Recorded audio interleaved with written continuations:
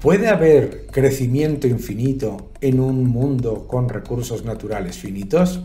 Pues claro que puede. Vamos a hablar de todo. En el argumentario intervencionista de esto de eh, tenemos que dejar de crecer, se dice lo siguiente, el mundo es finito y el crecimiento por lo tanto no puede ser infinito. Entonces, los recursos naturales son finitos, no se puede sacar crecimiento económico eterno. Y, claro, uno lo piensa y dice, bueno, pues esto parece como que tiene cierta lógica, excepto que tiene un problema. Está diciendo recursos naturales y mm, activos físicos con crecimiento económico, que es otra cosa, que es otra cosa completamente distinta. ¿Por qué? Porque el crecimiento económico incluye muchísimas más variables. La eficiencia, la tecnología, la competitividad y por supuesto que hay una enorme cantidad de bienes y servicios, cada vez más de hecho, que no requieren la misma cantidad de consumo de recursos naturales. Mucha gente habla de los recursos naturales como si fuesen algo que hay que dejar en el suelo. Los recursos naturales no son recursos, sino se utilizan. Entonces son nada, ¿de acuerdo? Pero claro, por ejemplo, cosas finitas que no solamente no se desaparecen, sino que se reciclan. El agua, el sol, toda la cantidad de activos que nosotros tenemos en la Tierra que son realmente infinitos. ¿eh? ¿Por qué? Porque se están constantemente reciclando, etc. ¿no? Eh, no entendemos muchas veces en que la idea de conjugar crecimiento económico con recursos naturales y decir es que los segundos son finitos y lo primero, por lo tanto, tiene que ser finito, no tiene ningún sentido. La inmensa mayoría de actividad que aumenta, que crece el Producto Interior Bruto, viene del sector servicios. El sector servicios, en su inmensa mayoría, no está consumiendo la cantidad de recursos que nosotros asumimos y no solamente no está consumiendo la cantidad de recursos que nosotros asumimos, sino que el valor añadido que va generando, ese valor añadido no lo dicta el consumo de recursos. El valor no es una combinación de un recurso por el tiempo utilizado. El valor es dependiente de lo que luego vaya a consumirse por otra persona en unidades monetarias y las unidades monetarias que tienen que ver con el Producto Interior Bruto, es decir, la riqueza que se va generando, ¿eh? no es una multiplicación termodinámica de un recurso natural multiplicado por su, eh, la unidad de tiempo o la unidad o la cantidad utilizada. Para nada, para nada, de hecho. Es decir, con el mismo, la misma unidad de recursos naturales, se puede generar no el mismo, sino múltiplos, de hecho infinitos, de crecimiento económico gracias a la eficiencia, la tecnología, la, el efecto multiplicador de, ese mismo, de esa misma utilización del recurso. La idea de que una unidad económica es equivalente a una unidad física multiplicada por su, utilización, no tiene ningún sentido. Ninguno, ninguno. Claro que hay crecimiento económico infinito con recursos finitos. Primero, muchos de esos recursos finitos son reciclables. Segundo, Muchos de esos recursos finitos no se utilizan para la inmensa mayoría de los bienes y servicios que consumimos en la economía. Adicionalmente, el valor añadido de esos mismos eh, insumos se va multiplicando en la economía precisamente por el crecimiento económico.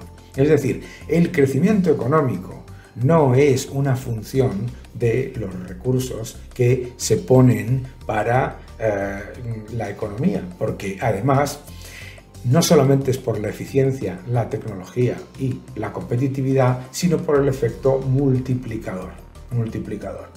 El efecto multiplicador es muchísimo más alto y además cuanto más crece la economía, el efecto multiplicador es mayor. Es decir, se necesitan menos unidades de recursos naturales para, la, para el triple, el cuádruple cantidad de crecimiento económico. Cada vez la intensidad energética del crecimiento económico es menor, por eso los precios del petróleo no se disparan, sino todo lo contrario. Yo he ido a cinco eh, mm, reuniones de la OPEP y siempre hablan de los precios del petróleo en qué? En términos reales.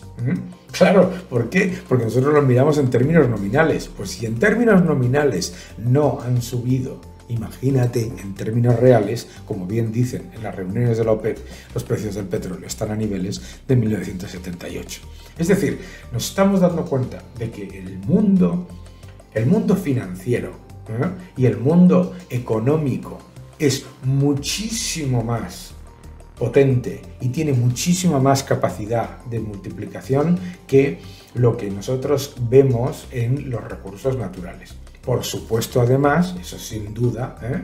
y os recomiendo el libro Apocalipsis Nunca de Michael Schellenberger, me gustaría que entendieseis que muchos de esos recursos que dicen que son finitos y que se van a acabar, no se acaban, no se acaban, se desarrollan, se regeneran muchos de ellos, etcétera, etcétera, etcétera. Es decir, tenemos un planeta maravilloso que nos da unos eh, unas oportunidades espectaculares con una serie de recursos que son absolutamente infinitos. ¿eh? No, lo olvidemos. O sea, la, la capacidad que tenemos gracias a agua, viento, sol, etcétera, todo eso no es finito. Absolutamente nada. Por eso es importante entender la diferencia entre unidades económicas e unidades físicas. Tú puedes utilizar muchas unidades físicas de un recurso y generar muy pocas, incluso pérdidas, ¿eh? muy pocas unidades económicas y puedes utilizar muy pocas unidades de lo que es eh, recursos físicos y generar una gigantesca, gigantesca eh, unidad unidades económicas, un aumento exponencial de lo que es el valor. Y eso se llama valor añadido. Y el valor añadido es lo que genera el crecimiento y el progreso económico. ¿Cuál es el problema de los eh, que piensan que se va a acabar todo, etcétera? Que lo que hacen son cálculos unidimensionales y el que están orientados a pensar que nada cambia. Y eso no es cierto. Y eso no es cierto. Claro, por eso yo siempre le digo a mis alumnos que hace 23 años que nos hemos quedado sin agua, sin petróleo, sin carbón y sin trabajo. Porque claro, cuando hacen un, un cálculo de estos son los recursos naturales que utilizamos y Segundo, hacer un cálculo absolutamente equivocado de y estas son las reservas que hay de esos recursos, como si fuese literalmente sacar de un almacén al que no entra nada más. Y es falso. Y es que es falso. Falso. Entonces, ¿qué es lo que, qué es lo que ocurre? Que la estimación está completamente equivocada en la base. Uno, no es un almacén del que estás sacando cosas que no vuelven a entrar. Dos, no es un almacén por los que una cosa que entra es exactamente igual a la cosa que sale en 1950 o en el año 2023. No solamente eso, sino que además no es cierto que todo lo que tú estás generando desaparezca. Es, es, una visión de suma cero de la economía que es no entender la economía. Y claro, cuando se introduce elementos económicos para decir que todo lo que es físico solamente tiene un efecto y que el económico no existe, claro, se niega el cálculo económico, se niega el efecto de la tecnología, de la eficiencia y de la, del proceso de la economía circular que, ha existido toda la vida, esto no es una novedad, eh, y que recicla y vuelve a poner en marcha distintos recursos en los que vamos convirtiendo esos recursos en mayor crecimiento económico. Sí, claro que hay crecimiento económico infinito en un mundo, entre comillas, finito. Primero, porque el mundo no es finito.